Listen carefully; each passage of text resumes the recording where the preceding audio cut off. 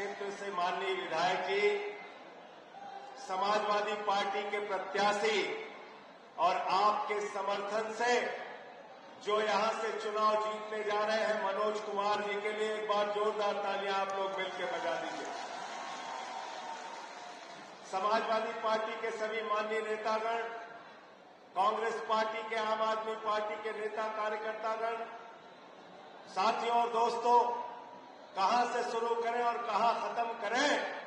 वतन की जो हालत सुनाने लगेंगे तो पत्थर भी आँसू बहाने लगेंगे। वतन की जो हालत सुनाने लगेंगे तो पत्थर भी आँसू बहाने लगेंगे। अगर भीड़ में खो गई आदमियत तो उसे ढूँढने में जमाने लगेंगे। आदमियत का, इंसानियत का कत्ल किया जा रहा है मौजूदा सरकार के अंदर। उसको बचाने के लिए हम सारे लोग इकट्ठा हुए हैं।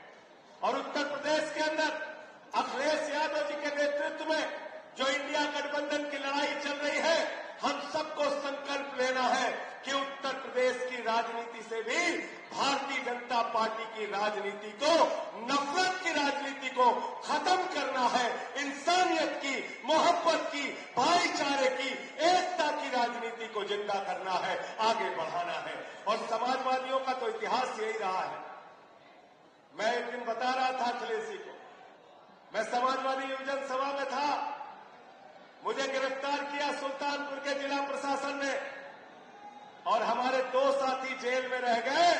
मैं अपनी जमानत उठा के दोबारा जेल में गया। छह महीने जेल में रह के आया हूँ। और निकलते ही नरेंद्र मोदी जी से मैंने कहा, आपकी किसी जेल लाठी और मुकदमे से मैं डरने वाला नहीं हूँ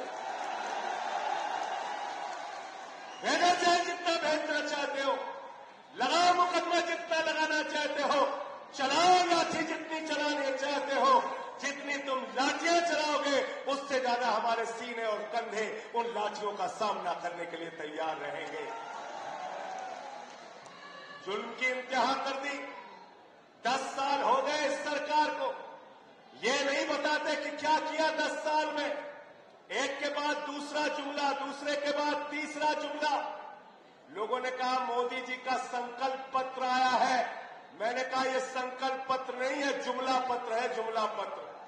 जुमला बोलने का काम करते हैं प्रधानमंत्री जी। क्या कहा था 2014 में आपसे? बोले, भाइयों और बहनों, दो करोड़ नौकरी नौजवानों को हर साल दूँगा।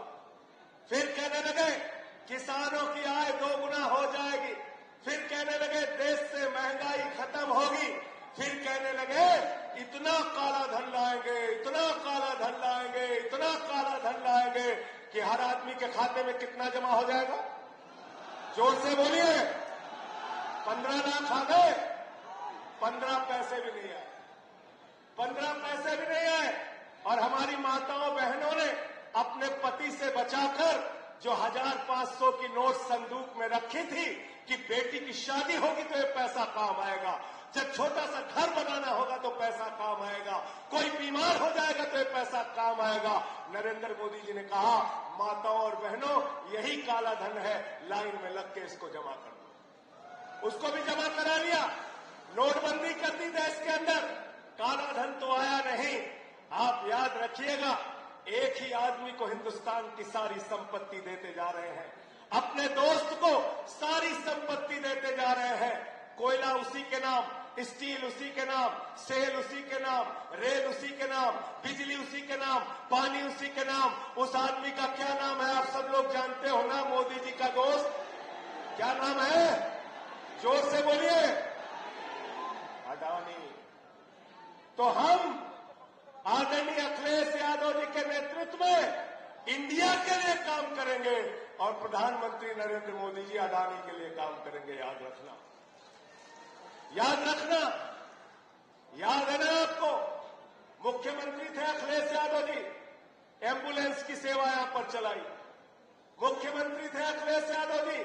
तो यहाँ बेरोजगारी भत्ता उस समय दिया गया। लैपटॉप बांटा गया। स्कूल बनाने का काम, अस्पताल बनाने का काम बड़े बड़े हाईवे बनाने अखिलेश यादव जी के नेतृत्व में उत्तर प्रदेश के अंदर हुआ। तो अखिलेश यादव जी एंबुलेंस की सेवा देते हैं, बेरोजगारी भत्ता देते हैं, लैपटॉप देते हैं, और प्रधानमंत्री नरेंद्र मोदी जी क्या कहते हैं? प्रधानमंत्री नरेंद्र मोदी क्या कहते हैं? एक चुनावी सभा में भाषण दे रहे थे मोदी जी।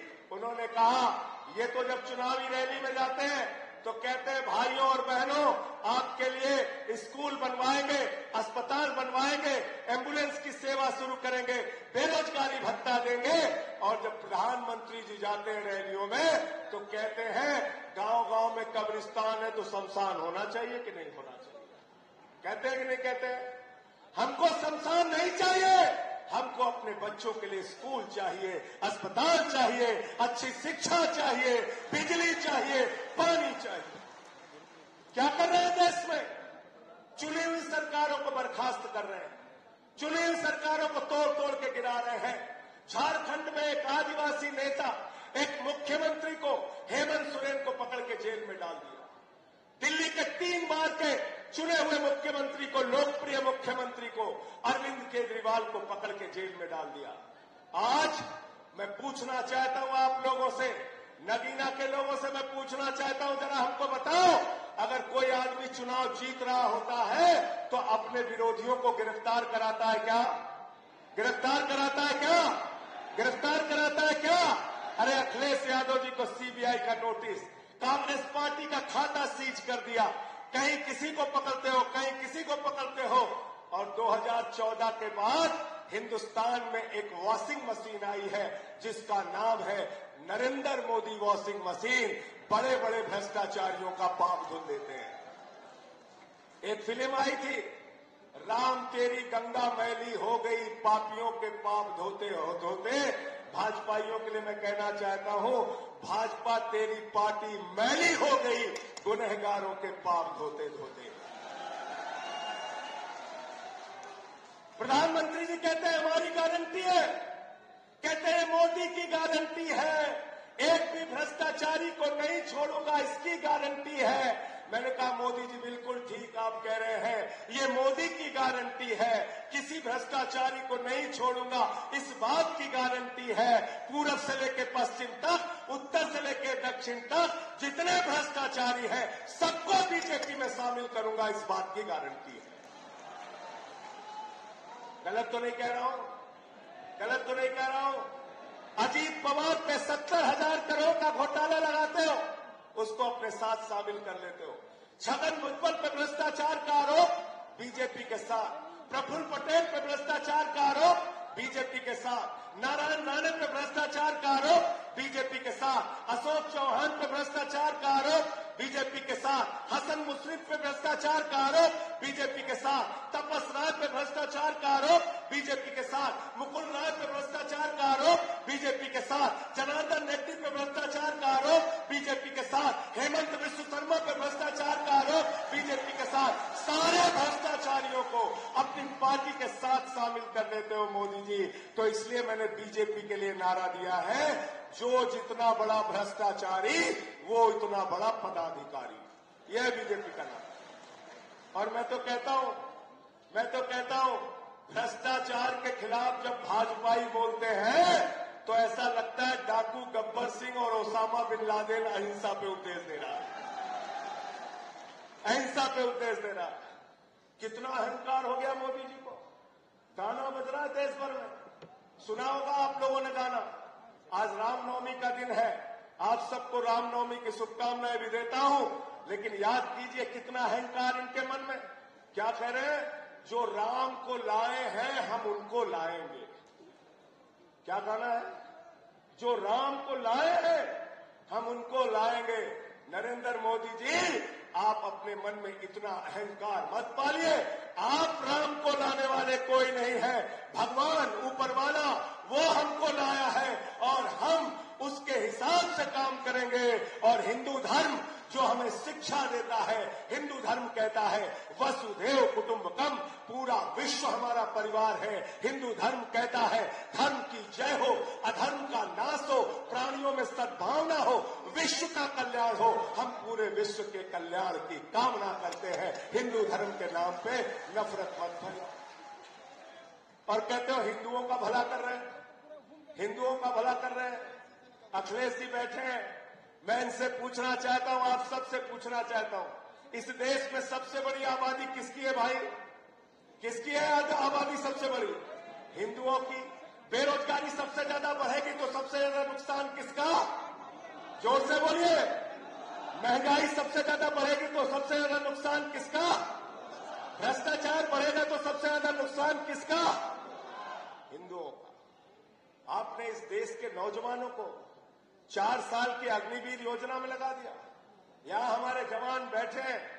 ये जवान दिल्ली के अंदर भी, जब दिल्ली पुलिस के जवान शहीद होते थे, सरकार उनकी चिंता नहीं करती थी।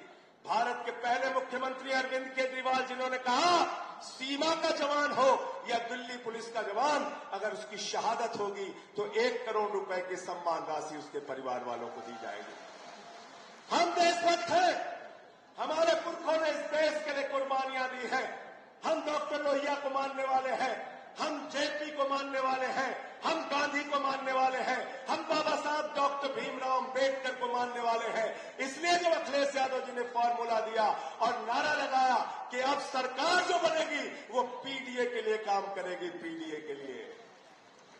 पीडीए के लिए काम करेगी। पीडीए के लिए काम करेगी। और इन नफरत फैलाने वाले लोगों से हमको लड़ना है। इनसे संघर्ष करना है। इनसे किसी मामले में पीछे रहने का काम नहीं करना है। मैं भगत सिंह की लाइन पढ़ रहा था जेल में जब था। उनसे मिलने आए उनके भाई। फांसी की सजा हो चुकी थी। भगत सिंह के भाई निराश हुए। जब घर गए तो भगत सिंह ने उनको एक चिट्ठी लिखी और चिट्ठी के अंत में दो लाइनें लिखी, उन्हें ये फ़िक्र है, हरदम, नया तर्जे जफा क्या है? उन्हें ये फ़िक्र है, हरदम, नया तर्जे जफा क्या है? जफा मतलब होता है अत्याचार। उन्हें ये फ़िक्र है, हरदम, नया तर्जे जफा क्या है? हमें भी शौक है, देखें सितम की इंतहा क्या है? हमें भी शौक है, देखें सितम की इंतहा क्या है? हम देखना चाहते हैं आप कितना अत्याचार कर सकते हैं। हम देखना चाहते हैं केजरीवाल पे आप कितना अत्याचार कर सकते हैं। हेमंत सोरेन पे कितना अत्याचार कर सकते हैं। समाजवादियों पे कितना अत्याचार कर सकते हैं। अरे समाजवादी तो आंदोलन की कोख से पैदा हुए हैं। आम आदमी पार्टी भी आंदोलन के कोख से पैदा हुई पार्टी है। कांग्रेस पार्टी ने आज़ादी के आंदोलन में हिस्सा लिया है। तो हम लोग तो आंदोलन का एक लंबा इतिहास है, लेकिन भाजपाइयों के पुरखों का इतिहास पढ़ोगे तो शर्मिंदा हो जाओगे, शर्मिंदा हो जाओगे। शर्मिंदा हो जाओगे। इसलिए मैं आप सबसे कहने के लिए आया हूँ यह अंतिम चुनाव है 2024 का चुनाव। आपने सुना होगा अखिलेश यादव जी ने भी लिखा, अयोध्या का सांसद लल्लू सिंह कहता चार सौ सीट दे दो, संविधान बदलना है। अनंत हेगड़े, पूर्व केंद्रीय मंत्री भारतीय जनता पार्टी के, कहते चार सौ सीट दे दो, संविधान बदलना है। ज्योति मिर्धा भारतीय जनता पार्टी की प्रत्याशी, कहती है 400 सीट दे दो, संविधान बदलना है। मेरठ के प्रत्याशी अरुण गोविल जिसको सीधे मोदी जी ने उतारा है, वो कहते हैं 400 सीट दे दो, संविधान बदलना है। मैं आप लोगों से कहना चाहता हूँ, पिछड़ों से, दलितों से, शोषितों से, वंचितों से, अल्पसंख्यकों से, आदिवासियों से, सबसे हाथ जोड़ के अपील है बाबा साहब, डॉक्टर भीमराव अंबेडकर ने, संविधान के निर्माता ने एक सबसे मज़बूत संविधान और दुनिया का सबसे बड़ा लोकतंत्र हमको विरासत में दी है। हम अपना संविधान बदलने नहीं देंगे, चाहे अपने जान की कुर्बानी देनी पड़े। और संविधान अगर बदल गया तो याद रखना, वोट की ताकत आपसे छीन ली जाएगी। संविधान अगर बदल गया तो याद रखना, आरक्षण की ताकत आपसे छीन ली जाएगी। आरक्षण ये खत्म करेंगे। याद रखना, वोट की ताकत खत्म करेंगे। चुनाव खत्म करेंगे। हिंदुस्तान में तानाशाही लाएँगे। किम जोंग का शासन यहाँ पर लाएँगे, पुतिन का शासन यहाँ पर लाएँगे। इसलिए मैं आप सबसे कहने आया हूँ, मनोज कुमार को साइकिल पे बटन दबा के इतनी ताकत लगा दीजिए कि दूसरे प्रत्याशियों की यहाँ जमानत जब्त हो जाए। समाजवादी पार्टी का प्रत्याशी, इंडिया गठबंधन का प्रत्याशी यहाँ से जीतना चाहिए इंडिया गठबंधन का प्रत्याशी, समाजवादी पार्टी का प्रत्याशी जीतना चाहिए। मैं अंत में एक ही बात कह के अपनी बात को खत्म करूँगा। आज किसान दुखी है, नौजवान दुखी है, माताएँ बहनें दुखी हैं, महँगाई की मार हम सब झेल रहे हैं। आज साढ़े सात सौ किसानों की शहादत का हिसाब लेना है। मोदी जी ने 2014 में कहा था, भाइयों और बहनों, घर से निकलना तो घर के सिलेंडर को देख के निकलना। इस बार मैं आपसे कहने के लिए आया हूँ, नगीना के लोगों, आप लोग जब आप अपने घर से वोट देने के लिए निकलना तो घर का सिलेंडर ज़रूर देख के निकलना। घर का सिलेंडर देख के निकलना। अखिलेश जी कह रहे थे, मोटरसाइकिल भी बता देना, मोटरसाइकिल भी देख के निकलना, जिसमें 120 रुपए लीटर का पेट्रोल तुमने भरवाया। अपने वो सिंचाई का ट्यूबवेल भी देख के निकलना, जिसमें 100 रुपए का डीजल आपने भरवाया। अपने घर का वो सरसों के तेल का डिब्बा देख के निकलना, जिसमें ढाई सौ रुपए लीटर का तुमने पेट्रोल तुमने सरसों का तेल खरीदा। प्याज महँगी खरीदी, आलू महँगा खरीदा, महँगाई आसमान पे पहुँच गया। महँगाई से, बेरोजगारी से, अशिक्षा से छुटकारा चाहते हो तो यहाँ से समाजवादी पार्टी के कैंडिडेट को जिता देना, समाजवादी पार्टी के कैंडिडेट को जिता देना। भाई मनोज कुमार जी के लिए दिन रात मेहनत करके, हो सकता है इस रैली के बाद अखिलेश जी दोबारा आपके बीच में रैली करने के लिए ना आए, उनको बहुत दूसरे क्षेत्रों में जाना है। एक एक कार्यकर्ता अखिलेश यादव बन के गाँव गाँव में जाएगा, चार गुना ज़्यादा मेहनत करेगा। आम आदमी पार्टी का कार्यकर्ता, कांग्रेस पार्टी का कार्यकर्ता और समाजवादी पार्टी को यहाँ से जिताने का काम करेगा, साइकिल को यहाँ से जिताने का काम करेगा। साथियों और दोस्तों, इन्हीं शब्दों के साथ कि ये अमन बिक रहा है, चमन बिक रहा है, गरीबों के तन का कफन बिक रहा है। बाजारों में बहनों का तन बिक रहा है। और तुम बुरा न मानो तो कह दो, इन बेईमानों के हाथों वतन बिक रहा है। इन बेईमानों के हाथों वतन बिक रहा है। इस वतन को बचाने के लिए हम सबको हिंदू मुसलमान अगड़ा पिछड़ा दलित सवर्ण की बाधाएँ तोड़कर एक साथ काम करना पड़ेगा।